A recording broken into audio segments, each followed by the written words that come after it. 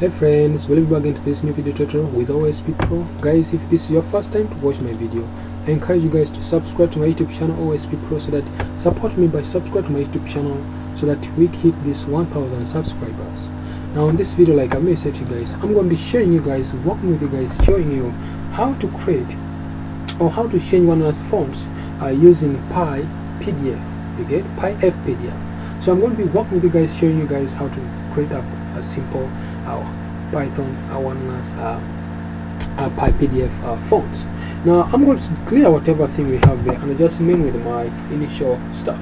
Now that stuff what we have done. So what we need now? What am I trying to talk about? Like uh, what am I trying to mean? Uh, we need to see how to change the font, like changing the font to different types of fonts.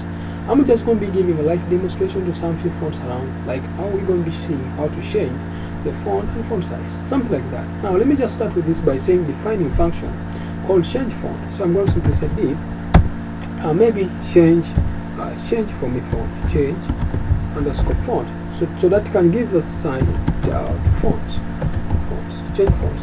That's just my function to change fonts. And what I'm going to be talking about, I'm going to simply say PDF, which equals to uh, we're trying to say PDF equals to the other very function we said last time, which is FPDF, just like what last time we did, get, on the previous uh, video.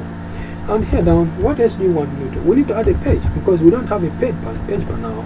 So we need to add a page, and when you click on add page, gives us a chance to create on add, a page.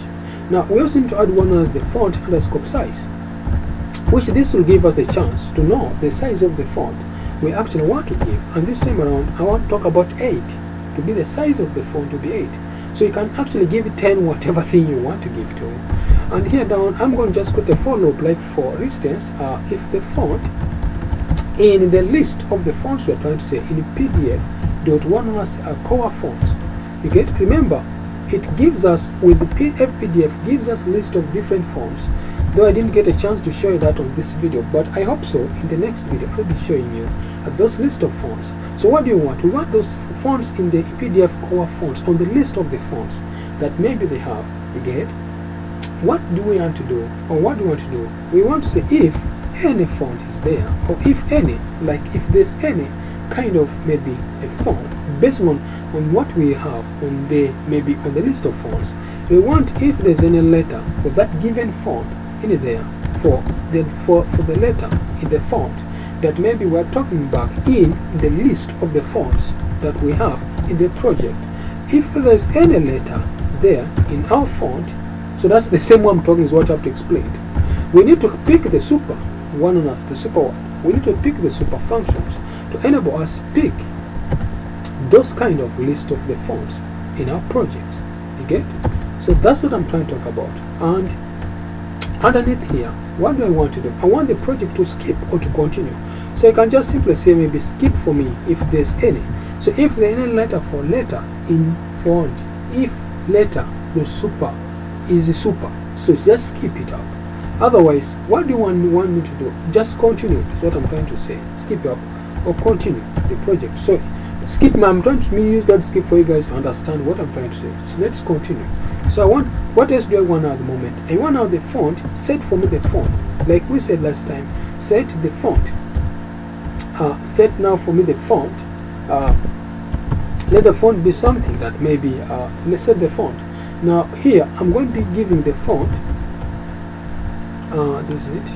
So I'm giving the font and also I want to give uh, one of us uh, I want to give one uh, known as uh, the size to that given font like the size let the size of that font be maybe font uh, equal to the font size we defined up somewhere pop font size good let that size be equals to font size which we defined somewhere in our function so this definitely gives us a chance just to check that.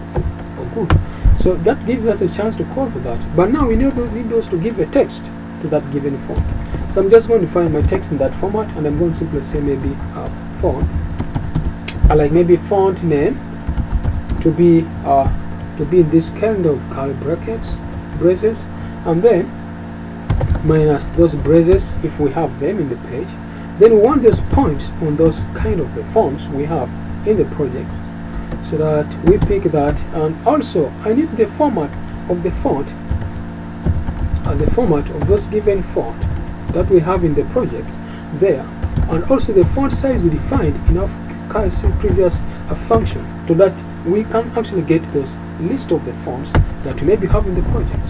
And also I need to, to, to track one on us uh, remember now we defined our font previously and now we need to track one on us the cells. Remember we spoke about the cells previously. Like the list of the cells we're going to be having in our projects for those fonts we want them last time we used 10 and 0 I think I'm going to use the same thing this time around. And I also want to get the one as the text. Uh, the text. Let the text on the other previous font be equals to also the text on this font here down here. And I'm also going to use the same thing. Let the line be equals to 1 this will give us a chance and let us also align our element based on where we want it to be. Like for instance I'm going to use it to be center. I'm going to use center to, so that you can have the same thing. Or you can definitely spare this to right or whatever. Remember I happen to explain to you guys so it's not something new anymore for you guys. So what else do I want now? I need now to, to, to talk about the font font size. Now I may add the font size to be 3 to all 3 so plus to a given kind of font size. So font size is equal to the font itself which is the same as having the font under size size uh, plus maybe 2 or plus 1 whatever thing you want to find there. I'll explain and break this code for you down on previous kind of one format. Now what else I do I need now? I need now uh, to talk about uh, this is it. Uh, good.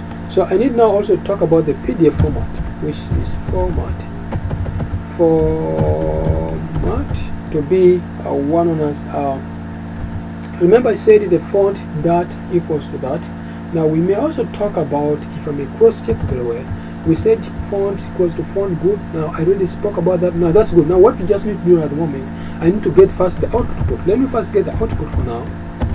Let the output be maybe uh, change font. Change font size or whatever thing you want to give them but maybe it has to be dot pdf like that. So change font size which will give us a chance to change that font size in the size we want to give to. And then I just need to go back to my page there and I simply say maybe if uh, if name dash dash that uh, is equal to if name equals that and I'm talking about the main remember from the main fonts itself what do you want me to do? I want you to change that font. You get? Yeah change for me the fonts. If that name is there then change from those fonts. So this is going to loop through the program check those fonts and if it happen to find that actually there's that font in the program then definitely change from the font. I hope there's no error in this video so that we get the output to be what we need object has no attribute. Is is is. I said is is. Sorry for that. Oh guys sorry. I said is super not is is super. Good. Thank you. So if I hope to check that again I think that's great. So I hope my font is changed. So if I click on here chup, boop, oh, I think you can see a little bit change my font. Oh, that's so amazing. So we have the font name this one font name this one font name we're adding it by two. Now I said something here previously guys. Now so there's some of you guys who maybe are going to be using my codes and copy and paste. Good. If you don't want to write it this way you can also use this. Remove this off. You can actually move that off and then come in here and say plus. You get?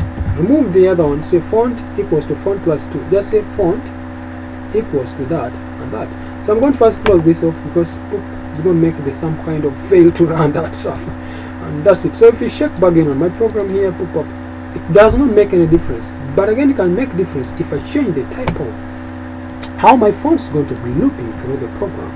I can definitely change this to 5 save that. You get? I'm trying to close all those fonts of ours so that they can't get that off. Check that. Good. Now if I happen to come back in, in my program oh my god it's too big.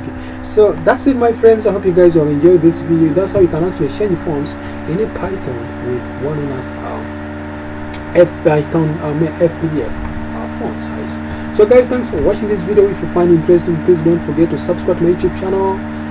Share my video link control now you can actually embed my videos on any kind of blah blah you want to. You can share my video to your friend. Please share my video to your colleagues. I mean you who's watching me right now share my video find interesting don't forget to subscribe to my youtube channel so that next time when i post a video you'll be notified. Thank you guys. Thank you